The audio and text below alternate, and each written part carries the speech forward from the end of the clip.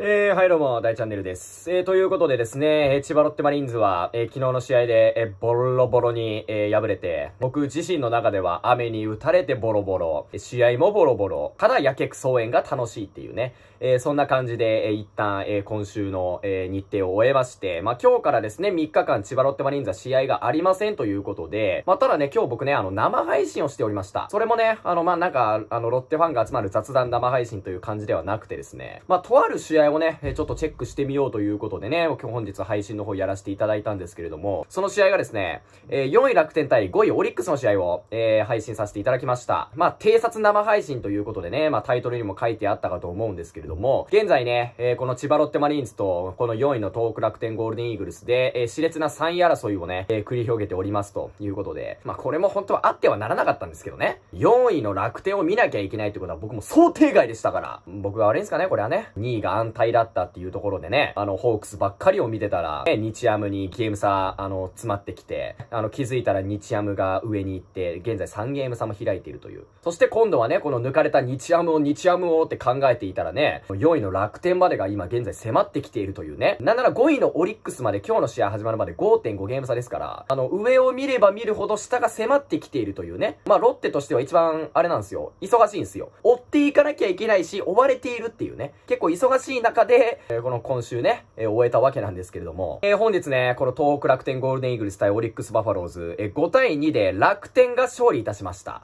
はい。えー、これによってまた3位のマリーンズとの、えー、ゲーム差が0.5縮まって、2.5ゲーム差ということになったわけですね。なんちゅう粘り強さなんでしょうか。えー、このチームは。何なんでしょうかね。まあだからね、ロッテとしてはね、あの、2位は安泰だ、安泰だって言われていた中で、現在ね、あの、3位までに残れるかもわからないというね、そういう状況まで、まあ言ったら追い込まれている、えー、状況になります。まあ、特に今月なんかはね、あの、楽天との試合がもうどんどんどんどん組み込まれていますから、1ヶ月で9試合ありますからね。あの、今月楽天戦が。まあ、その中で、えー、木曜日からですね、えー、楽天戦が4連戦積まれているということで、まあ、まずね、この3位、4位の3位争い直接対決でね、えー、まあ、まずは、まあ、マリンスタジアムで、えー、迎え撃つというわけなんですけれども、その担当直入に言うとですね、俺怖いよ。マジで。マジで怖いぞ。現状、調子としては結構落ちてきているロッテですから。この8月からこの9月上旬にかけてね。落ちてきているロッテですから。しかも直近の試合で10対2というボロ負けをしている。相手はね、相性の悪いホークスではありますけれども。それから直接対決で言えばね、ロッテとしてはま勝ち越しているイーグルスではありますけれども。楽天としてもね、調子自体はそこまで良くなかったんですよね。どちらかというと、この5位のオリックスの方が状態としては上な形。まあなんつったってね、まあ金曜日から始まっているね、このオリックス対楽天の、あの、今日で4連戦だったんですけど、あの、金、土、日とオリックスが3連勝している状況の中、今日迎えましたから、まあ、楽天としてはちょっと状態は落ち気味っていう状況の中で、まあ、今日楽天がこうやって5対2で勝ってね、まあ、状態としてはまた取り戻しての、えー、この直接対決っていうところになるんで、現状、大敗して直近の試合を終えているロッテと、こうやっていい形というかね、まあ、先制したのがオリックスでございましたから、結果的には、もう逆転して勝利を収めている楽天。さらには、交流戦優勝しているっていうね、そういうデータもありますんで、やっぱり勢いづくとね、怖いんすよ。楽天イーグルス。本当に。俺まだ嫌よ本当に。なんかシーズン最終戦とかになってさ、ロッテと楽天なんか勝った方が CS 進出とかさ。俺もう嫌よこんな。そんなヒヤヒヤしたやつもまあおもろいっちゃおもろいかもしんないけど、まあ、あの我々は本当にもう早くね、安心したいんで、去年もこういうヒヤヒヤ展開見ましたからね、楽天と戦って。そういうのはちょっとあの、控えていきたいっていうところでですね、今日楽天にこういう試合をされてしまいました。されてしまいましたっていうことなんで、僕はね、まあどっちかっていうとオリックスを応援していたよ。当然ですよね。まあ生配信の中では別にどっちも応援しているわけではない。まあ、ロッテが勝てばいいんだっていうそういう表現したかと思いますけれども。やっぱりあのー、我々もね、上の順位を目指していくのは当然のことですから、それやっぱオリックス応援するよ。楽天とのゲーム差広げたいからね。まあ、それによってオリックスとのゲーム差は縮まるんですけど。気づいたらオリックスとも5.5ゲーム差まあ、今日オリックスが敗れて6ゲーム差になりましたけれども。5位転落とかまであり得る状況まで来てますからね。オリックスにしてもね、3連覇している、そのラストの爆発力っていうものは本当に恐ろしいものがありますから、2021年のね、ロッテが3ゲーム差勝っていたところから一気に逆転して優勝を収めたりとかね、そういうこともしてるチームなので、オリックスも本当ラストの爆発力っていうところ、本当に最後の最後まで油断できないですし、一番ね、追い込まれてんのロッテかもしんないよ。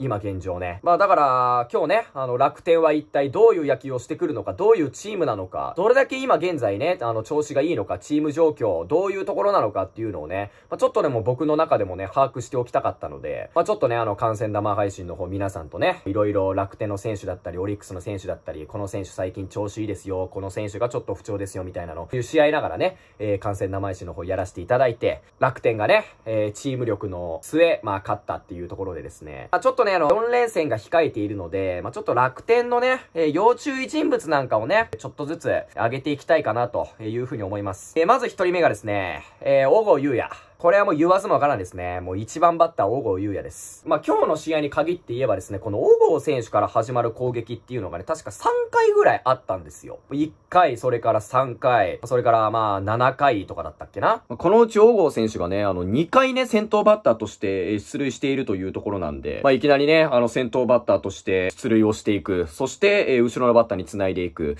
えー、こういう野球をやられるとね、あの、本当に、あの、ロッテの方もね、どんどんどんどんピッチャーに苦しくなってくると思うんで、まあ、ここはやっぱりね、一つ恐ろしいところなのかな、というふうに思いました。それから、えー、辰巳良介。えー、現在、近藤選手に次いで、えー、2位の、えー、打率を残している辰巳良介選手ですね。まあ、今日もね、えー、得点圏の場面で、えー、タイムリーヒットを1本打つシーンなんかもありましたし、まあ、3番を打っているということでね、やっぱり3番って一番打たなきゃいけないじゃないですか。基本的にはね。まあ、やっぱりこの、まあ、楽天の中で一番打っている辰巳選手っていうのがこう3番にいるっていうところはね、非常に脅威なんじゃないかなと思いますし、この小郷選手が出てね、2番小深田選手だったり、まあ、村林選手だったりもたまに入るかな。そこがきっちり進塁打なんかを打って、そして辰巳選手で返していくっていう野球をね、えー、簡単にされてしまうと、えー、ロッテ負けます。はい。やっぱこの1、2、3番にね、えー、結構楽天の打線の方もね、あの、かけてきているようなね、えー、そんな気もするので、まあ、それにね、そ後ろに浅村選手だったり、大地だったり、もうベテラン勢が支えてくれてるっていうことを考えるとね、本当にこの楽天打線、本当ハマり出すと本当に止まらなくなるんじゃないかなと思うので、まあ、やっぱロッテのピッチャー陣ね、まあ、どういうローテーションになるかはわからないんですけれども、まあ、このとにかくね、えー、1、2、3番をきっちりと、えー、抑えていくことっていうのがね、えー、大事になるんじゃないかなと思います。楽天の方もね、どちらかというとね、この一発構成とかね、山川選手みたいに20何本ホームランを打つ選手が揃っているわけではないので、あ結構繋いでくるタイプのチームじゃないですか。ホームランバッターって言われる選手は、